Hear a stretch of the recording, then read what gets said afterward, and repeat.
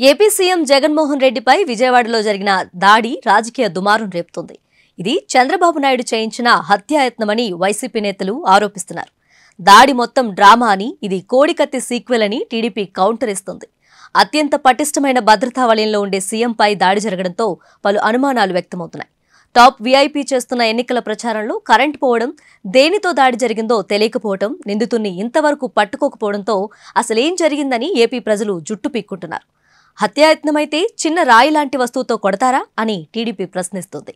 గత ఎన్నికల్లో కోడికత్తి దాడిలా జగన్ ఈ ఎన్నికల్లో సానుభూతి కోసం లైట్గా దాడి చేయించుకున్నాడని మండిపడుతుంది.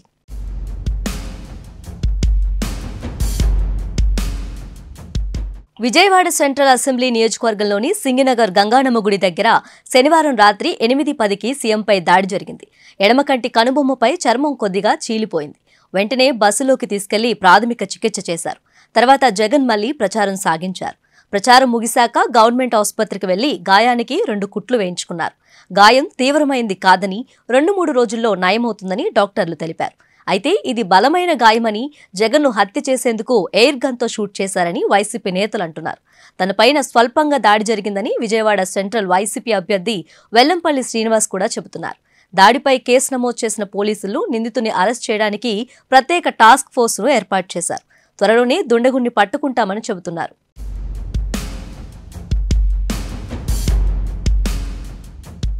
దాడి ఉద్దేశం ఏదైనా నిందితుణ్ణి పోలీసులు ఇంతవరకు అదుపులోకి తీసుకోలేకపోయారు.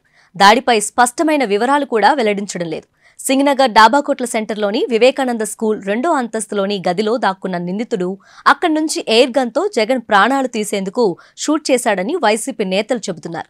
జగన్ బస్సు యాత్ర చుట్టూ వందలాది మంది పోలీసులు మోహరించి ఉన్నప్పుడు దాడి జరిగే అవకాశాలు తక్కువ. చెప్పులు కోడిగుడ్లు విసడం వంటివి జరిగినా నిందితులను వెంటనే పట్టుకునే అవకాశం ఉంటుంది. రెండో అంతస్తు నుంచి దాడి జరగడంతో నిందితుణ్ణి పట్టుకోవడం సాధ్యం కాలేదని వైసీపీ నేతల వాదన. నిందితుడు స్కూల్ గదిలోకి ఎలా వచ్చాడు? స్కూల్ యజమాని ఎవరు వంటి వివరాలు బయటికి రావడం లేదు. దీంతో కోడికత్తి కేసులో శ్రీనుల మరొకరిని ఐదేళ్ళు జైల్లో పడేసే కుట్ర జరుగుతుందని టీడీపీ ఆరోపిస్తోంది.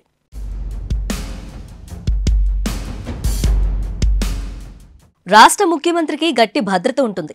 ఎన్నికల ప్రచారంలో అదనపు భద్రతను కల్పిస్తారు. ప్రచారం రాత్రి జరిగితే కరెంట్ పోకుండా ముందు జాగ్రత్తలు తీసుకుంటారు. సీఎంను ప్రతి క్షణం కంటికి రెప్పలా కాపాడే నిఘా అధికారులు పక్కనే ఉంటారు. Intelligence security CM security group close practice meet group escort inner cordon outer cordon periphery security విభాగాలతో ముఖ్యమంత్రికి భద్రత కల్పిస్తారు. ప్రచారానికి హాజరైన ప్రజలను ప్రతి క్షణం ఒక కంట కనిపెడుతూ ఉంటారు. జగన్ ప్రచారంలో కరెంటు పోవడం దాడిని భద్రతా సిబ్బంది పసిగట్టలేకపోవటం దుండగుణ్ణి గుర్తించలేకపోవటం భద్రతా వైఫల్యాన్ని కళ్ళకు కడుతుంది.